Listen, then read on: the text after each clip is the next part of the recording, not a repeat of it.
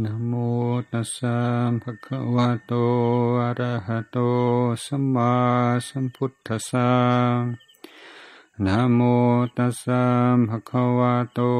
อะระหะโต สัมมาสัมพุทธัสสะนะโมตัสสะภะคะวะโต อะระหะโต สัมมาสัมพุทธัสสะ พุทธังธรรมังสังฆังคุณุตรังอุปัชฌายังนามาสามิ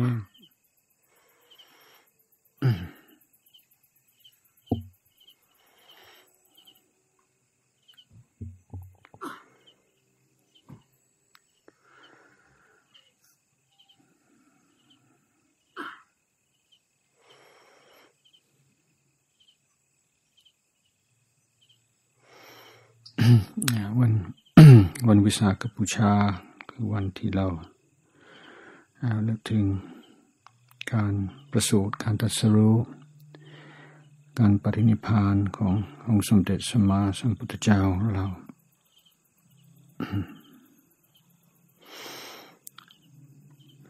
ในสามในสามวันในวัน ตรัสรู้คงเป็นวันที่สำคัญที่สุด พระวันประสูติก็ก็ไม่ใช่ประสูติของพระพุทธเจ้ายังเป็นการประสูติของพระโพธิสัตว์อยู่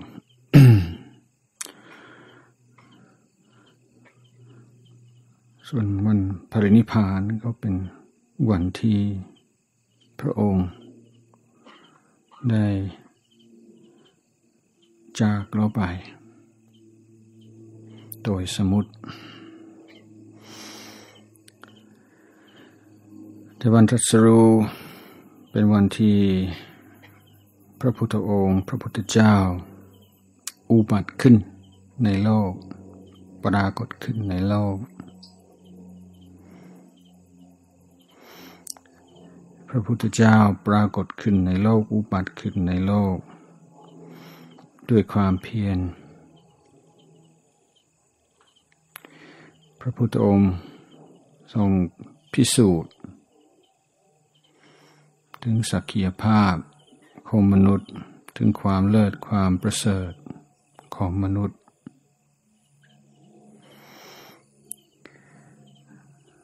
ศาสนาส่วนใหญ่มันจะมองมนุษย์ว่าเป็น สัตว์อ่อนแอ เป็นสัตว์ไม่มีพลัง ไม่มีปัญญา ถือว่าความปลอดภัย ในความเจริญ จะขึ้นอยู่กับศรัทธาขึ้นอยู่กับความเชื่อฟัง ถือว่ามีสิ่งศักดิ์สิทธิ์ เป็นผู้ดลบันดาล เป็นผู้ให้รางวัล เป็นผู้ให้โทษ เราต้องเอาใจ เราต้องไม่เดือไม่ฟื้น ความต้องการของสิ่งศักดิ์สิทธิ์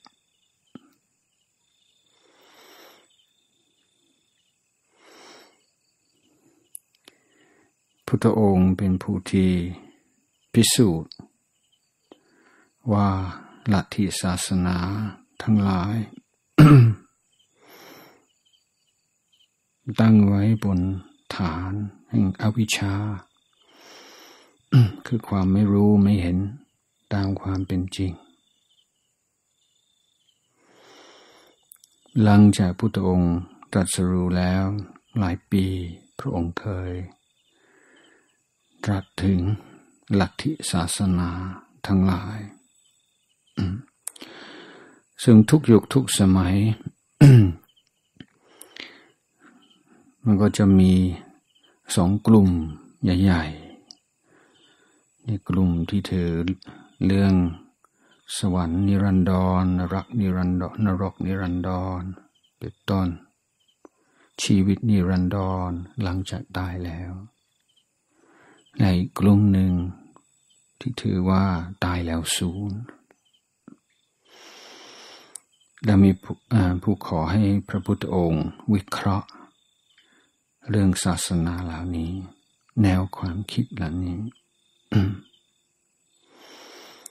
พระพุทธองค์ ไม่ทรงวิจารณ์เป็นข้อๆไป แต่พระองค์ ยกข้อสังเกตว่า เพราะศาสดาทั้งหลายนักคิดนักปราชญ์ทั้งหลาย ไม่เห็นความเกิดขึ้นของสังขาร ตามความเป็นจริง ก็เลยเชื่อว่าตายแล้วศูนย์เพราะ นักปราชญ์พระศาสดาทั้งหลายไม่เห็นความดับไป แห่งสังขารทั้งหลาย จึงเชื่อเรื่องชีวิตนิรันดรนั้นพระพุทธองค์ยังตรัสไว้ว่า ความเชื่อในเรื่องชีวิตนิรันดร ความเชื่อว่าตายแล้วศูนย์ไม่มีอะไร เป็นความคิดที่เกิดขึ้น เพราะเราขาดการรู้การเห็นตามความเป็นจริงท่านพุทธองค์ จึงไม่ชักชวนไม่ขอร้อง ให้เราเชื่อ อย่างเดียว ไม่ต้องการให้เราเชื่อฟัง ความเชื่อฟัง อย่างนี้ไม่ถือว่าเป็นอาการของความอ่อนน้อมถ่อมตน ที่แท้จริง นี่ก็เป็นอาการของความมืดบอดพุทธองค์ไปต้องการให้เราเชื่อ ต้องการให้เราศึกษา ต้องการให้เราเรียนรู้ ศึกษาอะไร เรียนรู้อะไร ก็ศึกษาธรรมชาตินี่แหละ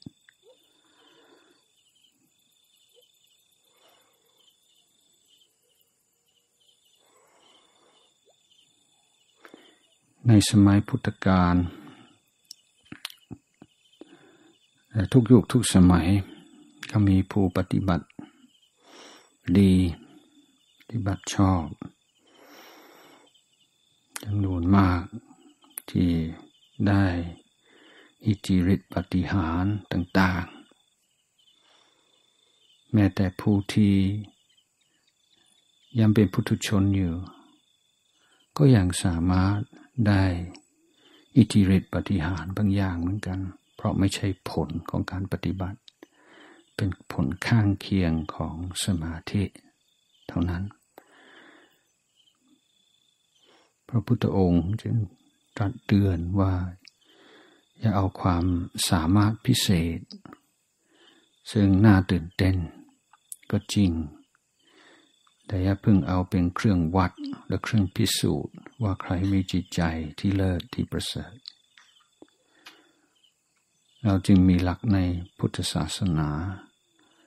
ว่าเหาะเหินเดินอากาศ ด้วยความ ยิ่งในในตัวเนี่ยอย่างสู้การเดินธรรมดา ธรรมดาเท่าเปล่า โดยสติด้วยสัมปชัญญะถ้าคนเราเห็นถ้าสมมติเห็นผู้เหาะเหินเดินอากาศ โอ้โห เราก็คงจะเลื่อมใสามาก แต่พุทธองค์อย่าพึงหลงกับอาการที่แปลกประหลาด แต่ให้เรามาทราบซึ้งในคุณค่าของเรื่องธรรมดา พระคนเรานี่จะเป็นทุกข์ ไม่ใช่ทุกข์กับเรื่องแปลกประหลาด แต่เราจะทุกข์เราจะหลงกับเรื่องธรรมดา เราจะลุดพ้นจะเข้าถึงความสุขที่แท้จริง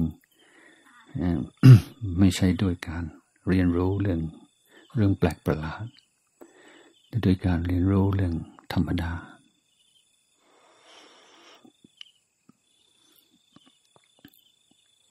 คำว่าธรรมดา ในภาษาไทยคำว่าธรรมดาก็เป็นคำที่ธรรมดา ธรรมดามาก แต่ในปรัชญาของ มหายาน กลายเป็นคำสอนระดับสูง ศึกษาความเป็นธรรมดา ภาษาสันสกฤตก็เรียกว่า ธรรมทา ทางทางมหายานได้เขียนหนังสือ หนาเป็นปึกในเรื่องดารมธา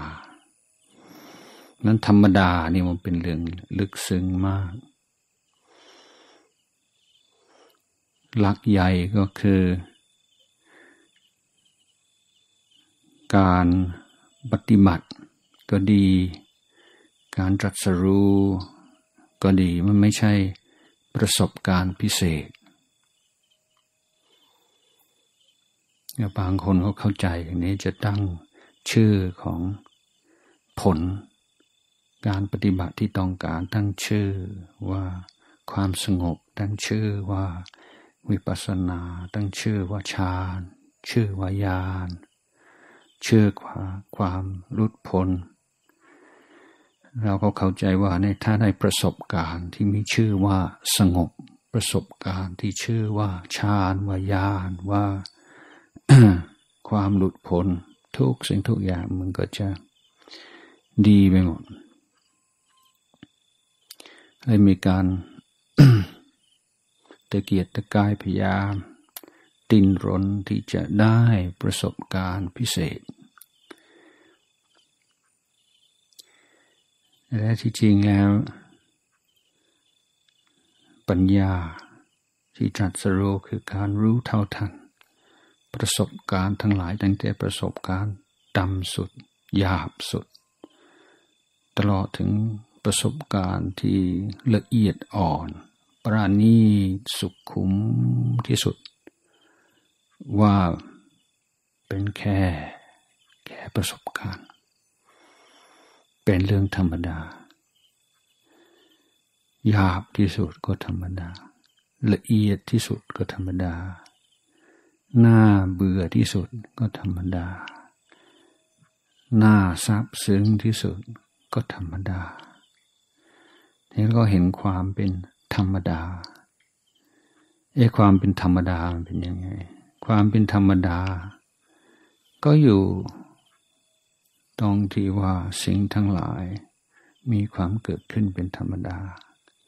สิ่งนั้นยอมทับไปเป็นธรรมดา จะเกิดก็เกิดตามเหตุตามปัจจัย จะตั้งอยู่ก็ตามเหตุตามปัจจัย จะดับไปก็ตามเหตุตามปัจจัย เนี่ยก็เห็นความเป็นธรรมดาอยู่ตรงนี้นั้นนักปฏิบัติที่จะมีปัญหา ก็เริ่มต้นด้วยความเข้าใจว่าตัวเองแย่ ตัวเองไม่ดี ตัวเองฟุ้งซ่านตัวเองเป็นอย่างนั้นอย่างนี้ แล้วก็อยากจะใช้ธรรมะ เป็นเครื่องมือที่จะเปลี่ยนไปอีกคนหนึ่ง เปลี่ยนเป็นคนจาก การเป็นคนแบบนี้ เป็นคนอีกแบบหนึ่งที่ดีกว่านี้สูงกว่านี้ ประเสริฐกว่านี้แต่ในการปฏิบัติอย่างนี้มันจะไม่ได้ผลเพราะเกิดจากความเข้าใจผิดในตัวเราผู้ปฏิบัติหรือว่าจะต้องเปลี่ยนจากการเป็นคนแบบนี้ เป็นอีกเป็นอีกคนหนึ่ง นอีกแบบหนึ่ง มันจะกลายเป็นเรื่องของตัณหา ที่กลายเป็นเรื่องของมานะหรือมันยังอยู่ใน อยู่ในอยู่ในกรอบของมิจฉาทิฏฐิอยู่ดังเรายังไม่ไม่ต้องสรุปว่าเราเป็นคนมีกิเลส เราต้องการเป็นคนไม่มีกิเลส แต่เราต้องการจะเรียนรู้กับธรรมชาติปัจจุบัน กิเลสไม่มีจริง แต่ผู้มีกิเลสไม่มีมันผิดตรงที่เราถือว่ามันมีเจ้าของมันในกิเลสมันก็มีเกิดมีดับ บางทีก็เราใช้สำนวนใช้ภาษาเรื่องการสู้กับกิเลสการฝืนกิเลสอดทนต่อกิเลสฆ่ากิเลสอะไรใช้ภาษาหนักรบหนักมวย ก็ธรรมดาของพระกรรมฐานเหมือนกันเพราะเป็นสังคมผู้ชายที่กำลังสู้ ในบางทีที่การยังคิดว่า เราเป็นผู้มีกิเลสต้องสู้ต้องฆ่าต้องอะไร มันก็รอแลมต่อมิจฉาทิฏฐิได้เหมือนกันถ้าเราไม่ระวัง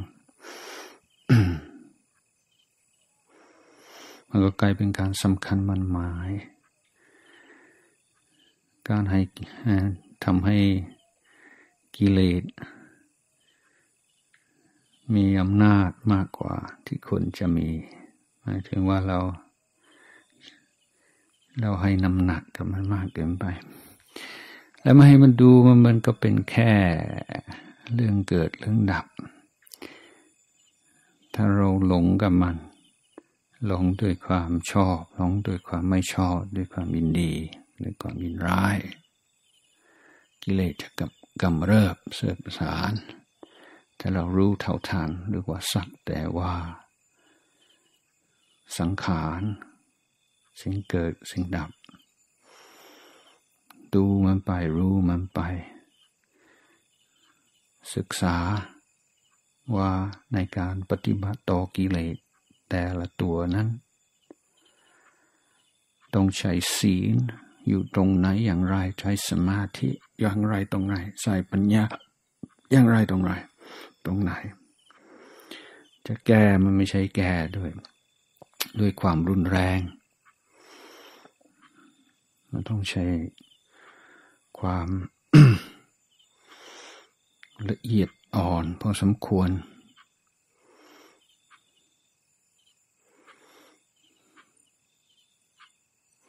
ต้องศึกษา ต้องรู้เท่าทัน ต้องเห็นความเป็นธรรมดา นั้นในคืนที่พระพุทธองค์ทรงตรัสรู้การตรัสรู้ของพระองค์เกิดขึ้นในช่วงท้ายของคืนนั้น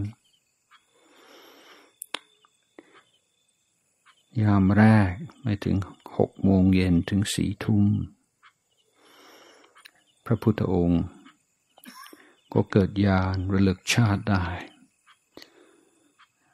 ไม่ใช่ว่าชาติสองชาติสามชาติอะไรเนี่ยระลึกชาติเป็นแสนระลึกชาติเป็นล้านระลึกชาติ ใช้เวลาเป็นกับเป็นกัน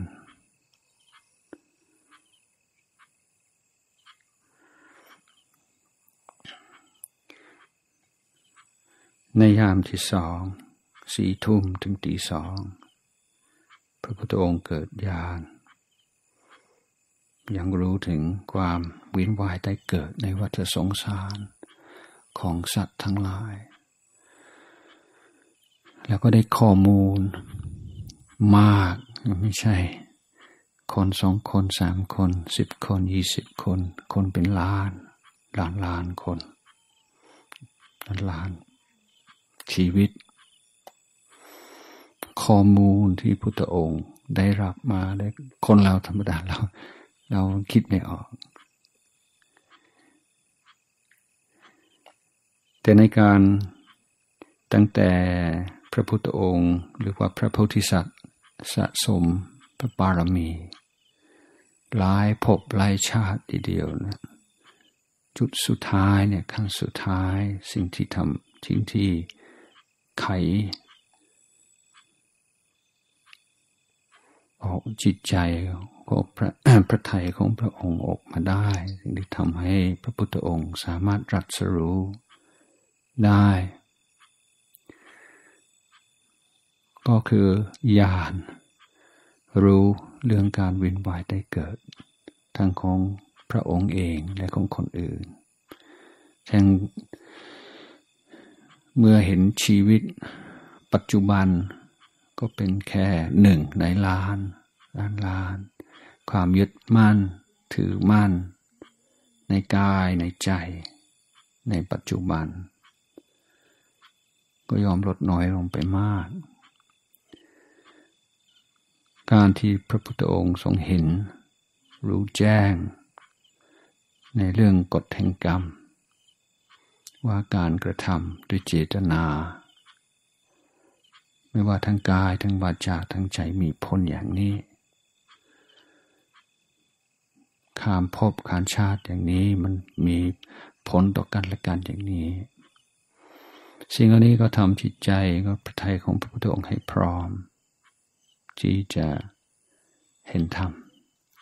พร้อมที่จะตัดสรู้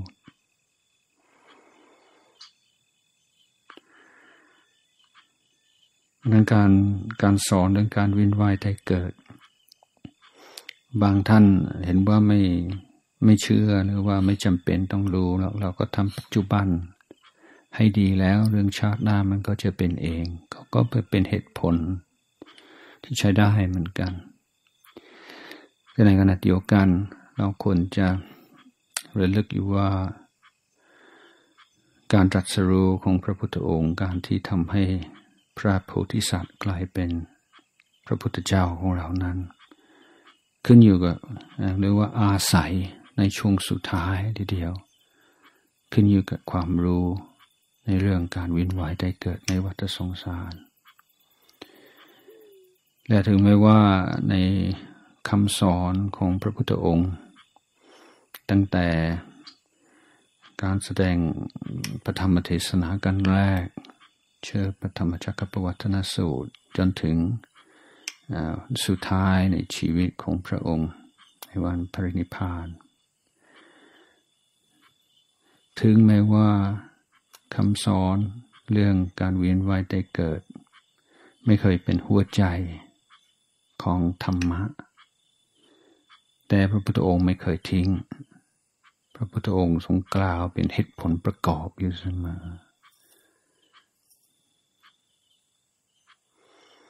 นั่นก็เป็นเรื่องที่เราควรจะพิจารณาไว้ แล้วพระพุทธองค์ให้ ให้หลักสำคัญ ข้อหนึ่งที่เราจะใช้ในการปฏิบัติกันทุกระดับเรียกว่าในชีวิตประจำวันก็เหมือนกัน คือหลักตัดสิน ว่าอะไรถูกอะไรผิดอะไรควรอะไรไม่ควร หลักนั้นก็คือ ถ้าเราทำถ้าเราเกี่ยวข้องกับสิ่งใดแล้ว กิเลสในจิตใจเราลดน้อยลง กุศลธรรมเพิ่มมากขึ้นเรียกว่าใช้ได้แต่หากว่ากิเลสเพิ่มมากขึ้น กุศลธรรมลดน้อยลง ก็เราไม่ควรจะเกี่ยวข้องไม่ควรจะทำในสิ่งนั้น หลักตัดสิน อย่างนี้มีประโยชน์อย่างยิ่ง แต่ว่าจะเป็นหลักที่ คนเราจะใช้ได้เฉพาะในกรณีที่เราเฝ้าสังเกตจิตใจ แล้วเราก็รู้ว่ากิเลสปรากฏในจิตใจว่าก็มีกิริยาการมีลักษณะอะไรต่าง ๆ อย่างไรบ้าง คุณธรรมคืออะไร คุณธรรมต่าง ๆ มีลักษณะการอย่างไรบ้าง เพราะถ้าเราไม่รู้จักตัวกิเลส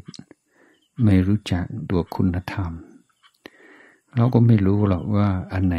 เพิ่มมากขึ้น อะไรลดลดน้อยลงการผู้ที่จะเป็นที่พึ่งของตนได้ คือผู้ที่สนใจศึกษาธรรมชาติของตัวเองความรู้สึกนึกคิดอารมณ์ต่าง ๆ พอเราดูบ่อยๆแล้ว เมื่อกิเลสเกิดขึ้น เราจะรู้ได้เร็ว เราจะได้สังเกตว่าการกระทำการพูดความคิดอย่างไรทำให้กิเลสเพิ่มมากขึ้น วางกายวางใจอย่างไร กิเลสจึงจะน้อยลง คุณธรรม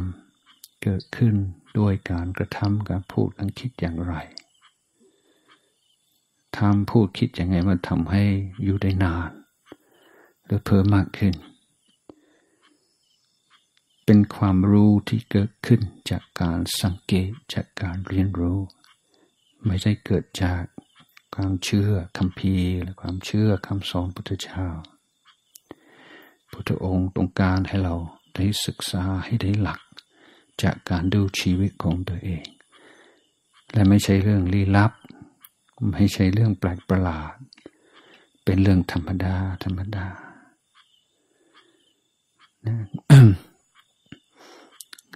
มือกิเลสเกิดขึ้น อย่างเช่นใครเรารู้สึกอิจฉาขึ้นมา เป็นต้น บางคนอิจฉามันก็หลงอยู่กับคำอิจฉา บางคนรู้สึกตัวเองอิจฉาเลยรับไม่ได้โอ้ยไม่ดีไม่ดี ว่าตัวเองว่าแย่ พยายามเก็บกด ทั้งสองวิธีนี้ก็ทำให้ ตัวอิจฉาจะกลับมาบ่อย นี่เราควรสังเกต ถ้าอิจฉาแล้วมีการกระทำและการพูด ด้วยอำนาจของความอิจฉา ความอิจฉาจะเพิ่มมากขึ้น แล้วก็จะเกิดขึ้นบ่อย นี่ถ้าเรารู้ความอิจฉา นี่คืออาการของอิจฉา เหมือนเหมือนเรารู้อาการของกายอย่างเช่น โอ้มันปวดขาปวดหลัง หรือว่ามันคันตรงนั้นคันตรงนี้ รู้รู้อาการของกาย แล้วก็คอยแก้ไขไปแล้วรู้อาการของกิเลสเช่น อิจฉา ว่า เออ นี่อิจฉามันมันอย่างนี้พอเรามีสติกับตัวความรู้สึก ว่าอิจฉาจะต้องมีความรู้ขึ้นมาทันทีว่า นี่คือทุกข์ ไม่ใช่สุข ทั้งทั้งที่คนจะชอบเพลินอยู่กับการอิจฉา แต่ถ้าเราดูตัวความรู้สึกที่มีชื่อว่าอิจฉาอยู่ในปัจจุบัน ถามตัวเองว่าทุกข์หรือสุขตอบง่าย ๆ ว่าทุกข์กายก็ผิดปกติ จิตใจก็ผิดปกติ นี่ก็เห็นความผิดปกติ ความเพี้ยนของกายของใจ นี่ก็คือกิเลสนี่คือความเศร้าหมองของจิตใจหรือว่าเอมันเกิดเพราะอะไร เพราะคำพูดของคนเพราะกิริยาท่าทางของคนนั่นคนนี้มันมีมันมีที่เกิด ก่อนที่คนนั้นพูด ก่อนที่คนนั้นทำสิ่งนั้นหรือก่อนที่เราจะรู้เรื่องของคนนั้น อาการนี้ไม่มี มันเกิดขึ้น เพราะมีการกระตุ้นให้เกิดในขณะที่มีการกระตุ้นเราขาดสติ แล้วก็มีทริกเกอร์จากภายนอก แล้วก็ในขณะเดียวกัน ก็ต้องมีการขาดคุณธรรมบางอย่าง โดยเฉพาะตัวสติ สติไม่อยู่ป้องกันไม่ป้องกัน กิเลสก็เกิดขึ้น ถ้าเรารู้เท่าทัน ไม่ไม่หลงกับมัน ไม่เก็บกดมัน รู้รู้มันอดทน รู้ มันจะค่อยๆจางไป แล้วถ้าเรารู้ แล้วก็ปล่อยให้มันดับไปแล้วมีสติ มีสติตรงนั้นด้วยในขณะที่ดับไป อันนี้เราจะได้ปัญญามากตรงนั้น เห็นสิ่งที่กำลังปรากฏอยู่ในจิตใจ คือความเศร้ามอง มองมันไปรู้มันไป แล้วมันหายไปเอง นี่จะได้ปัญญาด้วย จะได้กำลังใจด้วยแล้วการที่เราเห็นกิเลสตัวใดตัวหนึ่ง ไม่ว่าตัวไหนก็ตาม จะเป็นความโกรธความความรังเกียจความความมิจฉาพยาบาทหรือจะเป็นความอยากได้อยากมีอยากเป็นกิเลสทุกตัวเนี่ย ถ้าเรารู้ตัวตื่นรู้อยู่ในขณะที่มันดับ นี่เรามันจะเป็นเหตุให้เราได้อนุมาน คืออนุมานหมายถึงว่า เนี่ยกิเลสมันดับอย่างนี้เอง นี่คือความรู้สึกของกิเลสดับ ในวันตรัสรู้ของพระพุทธเจ้าหรือวันที่พระองค์ ทรง รู้สึกว่ากิเลสทั้งหลายทั้งปวง ดับโดยสิ้นเชิง ดับอย่างไม่มีทางกำเริบของเราถึงแม้ว่าเห็นความดับไปของกิเลสแต่มันก็ชั่วคราวแต่อย่างน้อยเราก็จำไว้จำไว้อาการจำไว้ว่าขณะหนึ่งกิเลสปรากฏอยู่ อีกหนึ่งวินาทีไม่มีเลย เห็นความดับ แล้วทั้งยังมีสติต่อ ต่อว่าหลังจากกิเลสดับไป รู้สึกยังไงไหมรู้สึกดีมาก แต่มันดีมันไม่ใช่แบบดีแบบตื่นเต้น ปราบเพลิมดีแบบปกติสุข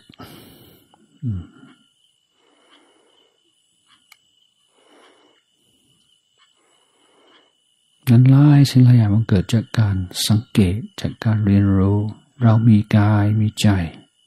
มีรูปมีเวทนา มีสัญญา มีสังขารวิญญาณนี่ก็คือวัตถุดิบ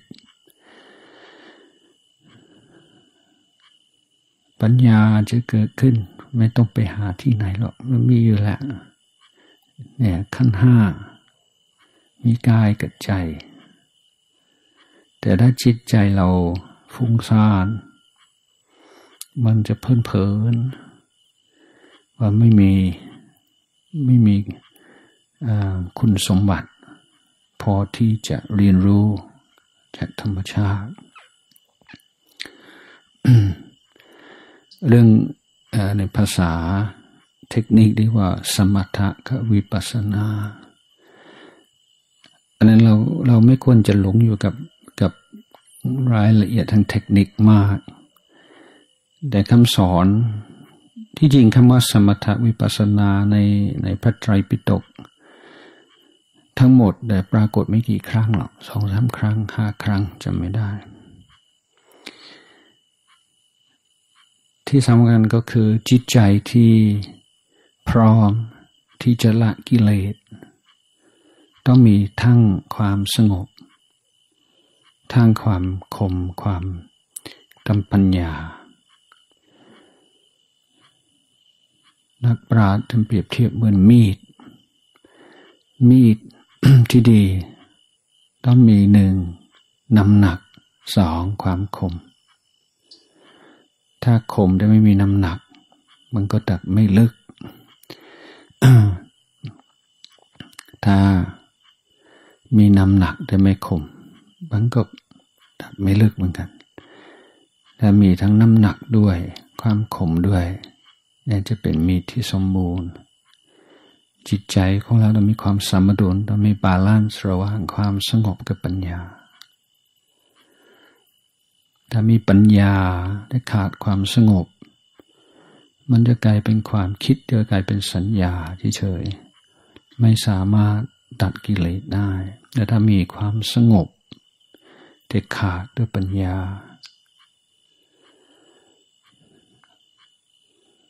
กิเลสก็ไม่ก็ไม่กลัวเหมือนกันทั้งเลท่านเทียบเหมือนกับ หินทับหญ้ามันสบายดี แต่กิเลสไม่ตายจริง นั้นตั้งแต่สมัยพุทธกาลจนถึงทุกวันนี้ ก็มีผู้ปฏิบัติได้สมาธิ ในขั้นสูง เชื่อว่าได้วิปัสสนา เชื่อว่าได้ปัญญา เชื่อว่าได้ผลทุกข์เชื่อว่าได้บรรลุเป็นนั้นเป็นนี่เพราะสมาธิที่ดี จะทำให้รู้สึกเหมือนไม่มีกิเลส สมาธิที่ดี ก็ชวนให้เข้าใจว่า นี่คือปัญญา นี่คือวิปัสสนา ผู้ที่แยกว่าเอสมถะกับวิปัสสนาคนละเรื่องมัน มันไม่ใช่หรอก มันสับสนกันได้ วิวิปัสนา ก็ได้เป็นวิปัสนู ได้เป็นวิปัสนุปกิเลสได้เหมือนกัน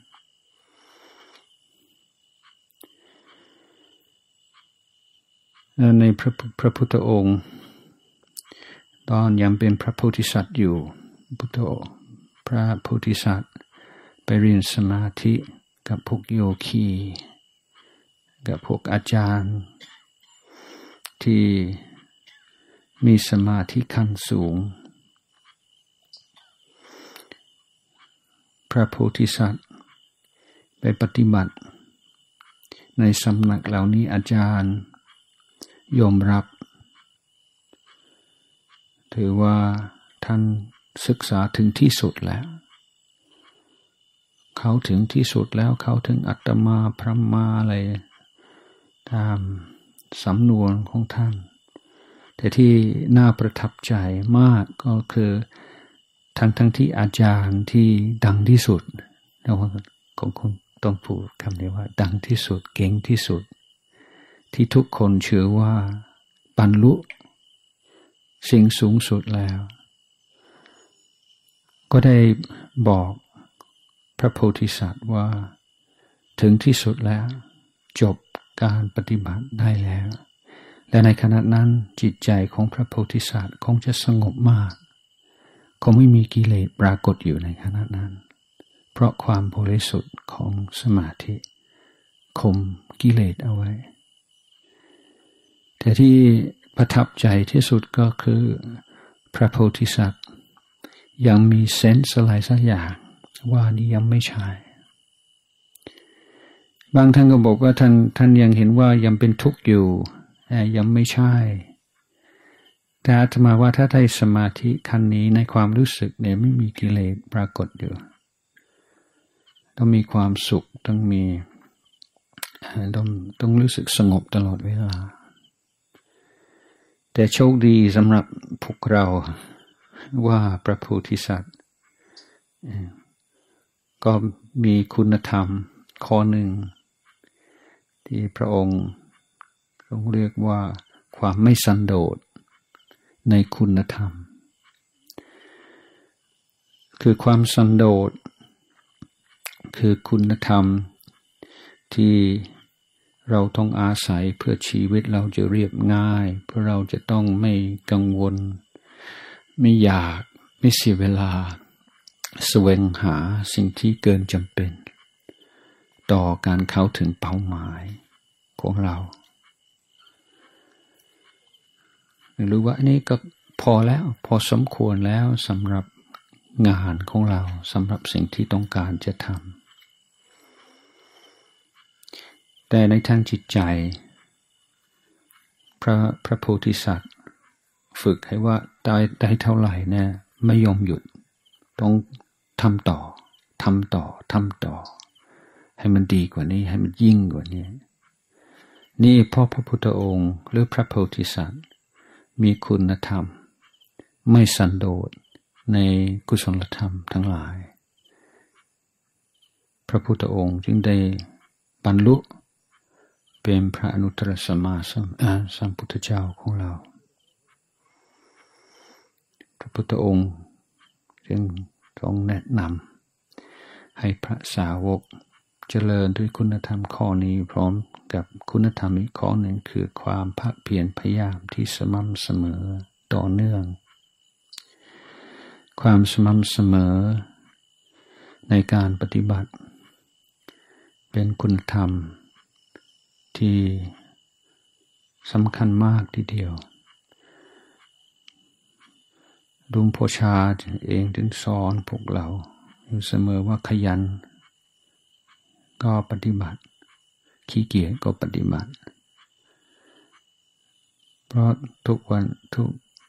วันนี้พวกเราก็จะขยันมาก เป็นบางครั้งบางคราว เวลาขยันโอ้เอาเต็มที่เลยแต่เวลาไม่ขยันไม่อยากทำเลย นี่ก็คิดเอ๊ะถ้าทำนี่ก็คงไม่สงบหรอก แล้วทำทำไม นี่เรานี่ก็คือปัญหาเวลาเราปฏิบัติ เพื่อรางวัลในอนาคต เพื่อเราจะได้ประสบการณ์อย่างใดอย่างหนึ่งแต่ถ้าเป็นหนักปฏิบัติ วันนี้อยากปฏิบัติไหมไม่เลยทำไมขี้เกียจฟุ้งซ่านมากปัญหาเยอะ เหนื่อยมาก ถ้าภาวนาก็คงไม่ได้ผล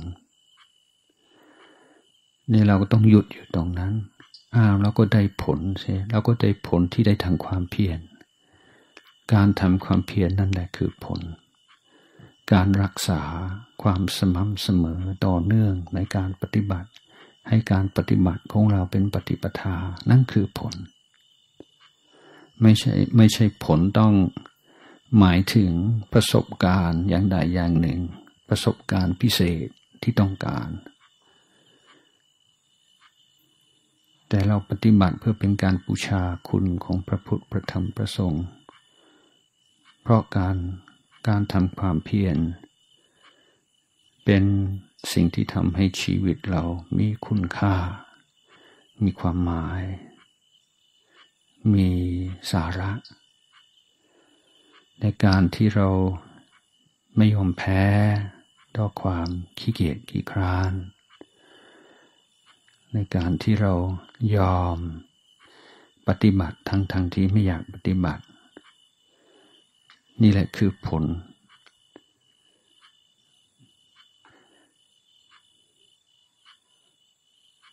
นั้นถ้าพระพุทธองค์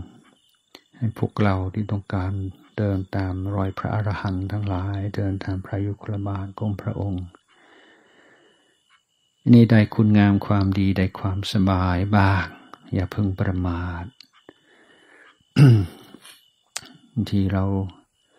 เราก็ได้ความสงบนิดเดียว เห็นกิเลสบางอย่างที่เคยทรมานจิตใจลดน้อยลง บางเล็กน้อยดีก็แค่นั้นก็อ้าวพอละพอละพอละมันไม่พอหรอกต้องไม่สันโดษในคุณธรรม เพราะสิ่งเหล่านี้ก็เสื่อมได้เหมือนกัน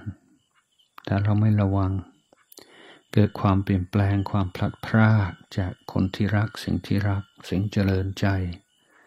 เกิดความเจ็บไข้ได้ป่วย เกิดความเปลี่ยนแปลง เกิดปัญหาทางการเงินหลายสิ่งหลายอย่างทำให้ความสงบ ที่เราคิดว่าเป็นของเราอยู่แล้ว ดับหายไปเลยมันยังเปราะบางมากเรายังไว้ใจไม่ได้ นั้นวิธีวิธีป้องกันดี ๆ ที่สุด ก็คือการรุกต่อไปทำให้ดียิ่งยิ่งขึ้นไป ไม่ได้ทำเพื่อจะได้หลายแต่ทำเพราะการกระทำนั่นแหละ คือการแสดงออกว่าเราเป็นผู้ มีความกตัญญูกตเวทีต่อพระพุทธเจ้า ต่อพระอริยสงฆ์ทั้งหลาย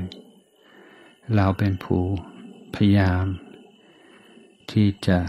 เสิร์ฟต่ออายุของพระพุทธศาสนา ด้วยกายด้วยวาจา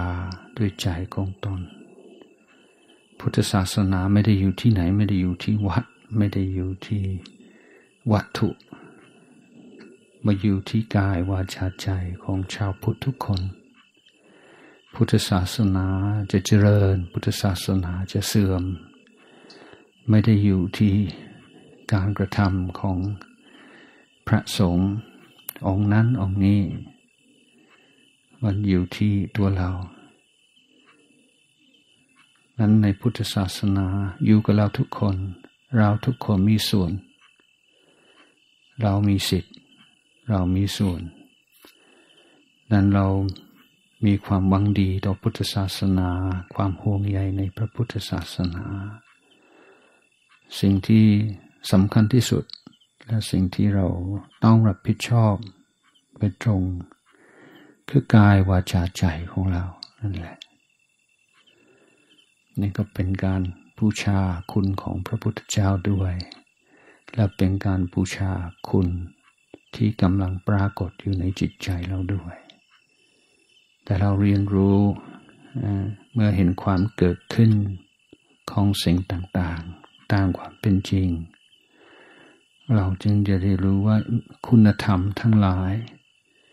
ที่ยังไม่มีในจิตใจ เกิดขึ้นได้ เหมือนอาการนั้นเมื่อกี้นี้ เมื่อเห็นกิเลสดับไป ถึงจะดับชั่วคราวก็ตามนี่คืออาการของความดับไปของกิเลส กิเลสตัวนี้ดับได้กิเลสอื่นก็ดับได้ ถ้าดับได้ชั่วคราวได้ ถ้าเราปฏิบัติต่อมันก็จะทำให้ดับโดยสิ้นเชิงได้นี่เราก็ได้หลักด้วยด้วยศรัทธาด้วยความด้วยความเพียรด้วยด้วยสติเรียนรู้สังเกตนั้นในวันวิสาขบูชาจึงเป็น โอกาสที่เราจะได้ระลึกถึงคุณของพระพุทธเจ้าและลึกถึงความเป็นพุทธมามกะ ความเป็นผู้ที่พยายาม ในส่วนที่ทำได้ พยายามที่จะรักษาที่จะสืบต่อที่จะเผยแพร่หลักธรรม ด้วยความเพียรพยายาม ในทางทั้งด้านศีลทั้งด้านสมาธิและด้านปัญญา ให้สิ่งดีงามในชีวิตของเรา สิ่งดีงามในครอบครัวในสังคมเรา ได้เจริญยิ่งยิ่งขึ้นไป เราเมืองไทยได้ดูได้ร่มเย็นของพระพุทธศาสนามาหลายร้อยปีแล้ว แต่พระพุทธศาสนาจะอยู่ เป็นที่พึ่งของเราได้ต่อไป ก็โดยการกระทำไม่ใช่ว่าเป็นสิทธิ ไม่ใช่ว่าสิ่งที่จะเป็นเองแต่พุทธศาสนาจะอยู่ได้ จะส่งตัวเลือจะเจริญยิ่งขึ้นได้ เพราะพวกเราที่มองอย่างนี้ว่าเป็นสิ่งที่น่าภาคภูมิใจ ว่าเรามีโอกาส ที่จะทำสิ่งที่งามในชีวิตของเรา พื่อประโยชน์ตนเพื่อประโยชน์คนอื่น เพื่อความสุขตนเพื่อความสุขของคนอื่น ตลอดกาลนานมาจึงขออวยพรให้ให้ญาติโยมทุกคน มีความเจริญด้วยศีลด้วยสมาธิด้วยปัญญา มีกำลังศรัทธากำลัง วิริยะกำลังสติกำลังสมาธิกำลังปัญญา พื่อจะเจริญตามรอยพระอรหันต์ทั้งหลาย เพื่อจะเจริญตามพระยุคลบาทขององค์สมมาสมุทธเจ้าของเรา ขอให้ทุกคนมีแต่ความสุขความเจริญ ตลอดกาลนาน